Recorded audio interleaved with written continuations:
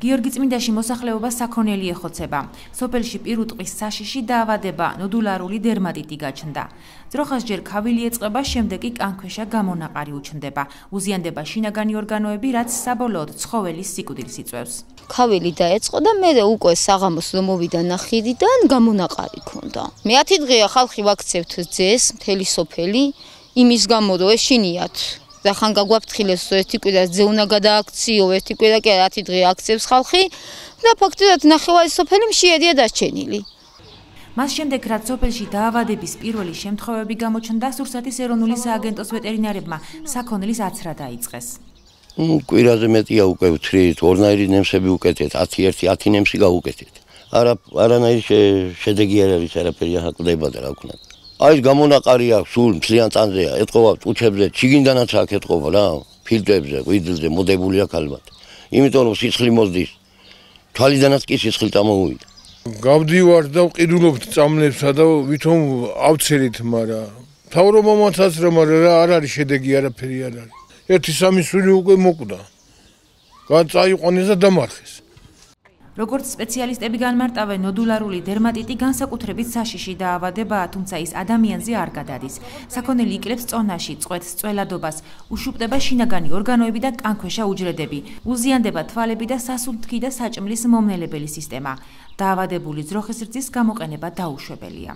კურნალობა ძირითადად ანტიბიოტიკებით შესაძლებელია და გარეგანი დამუშავებით, მაგალითად კრეოლინით შეიძლება. ну антибиотикები რაც ძლიერია მით უკეთესია სურსათის ეროვნული სააგენტოს სამცხე-ჯავახეთის რეგიონული სამართლოს უფროსის ლია ბექაურის განმარტებით მსგავსი დაავადება აღმოჩნდა ასპინძაშიც და ახლა ვაქცინაცია მიმდინარეობს.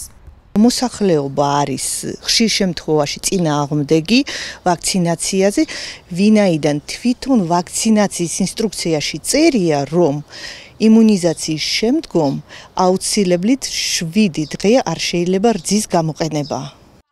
მოსახლეობის ნაწილს საქონელი ბანკიდან აღებული კრედიტით ყავს ნაყიდი, ხოლო იმის გამო რომ დაავადებული ძროხისრძეს ვეღარ ყიდის, სესხთაც ვეღარ ფარავს. სოფელი უძლურია, პირველად არის ეს დაავადება, არ დაგვინახია, არ გაგვიგონია, პება საქონელი ზეზეულა. ახლა მეუბნევიან 10 დღეს ძე აქციო, აქციო ძეს, მაგრამ ან ჩემ შვილებს დავაჭამო. ვინ იქნება ჩემი პატრონი? ჩემთან რომ მოვა ბანკის წარმომადგენელი, იმას გავუშვებ მე ნოდარასთანა. გამგებელთან ახალციხის მუნიციპალიტეტის მერის წარმომადგენელი გიორგი ბლიაძე ამბობს, რომ რაც მის ვალდებულებაში შედიოდა, უკვე გააკეთა. თუმცა მზადაა მოსახლეობას ტრაქტორის საშუალებით დახოცილი საქონლის დამარხვაშიც დაეხმაროს. სახელმწიფო მარტო ეხმარება აცრაში, რაც გადამდებია და ეს არ და დანარჩენი ახლა თუ მას შეხვდა მოსახლეობა თვითონი და თვითონვე კურნალო. ნოდულარული დერმატიტის შემთხვევაში ცხოველთა სიკვდილიანობა 2-დან 10%-მდე მერყეობს. პრევენციისთვის არსებობს დაავადების საწინააღმდეგო ვაქცინები, რომლებიც იმუნიტეტს 2-3 წელი იძლევა. დაავადების წარმოშობის ადგილი აფრიკაა. მისი გადამტანი კი მწერები არიან.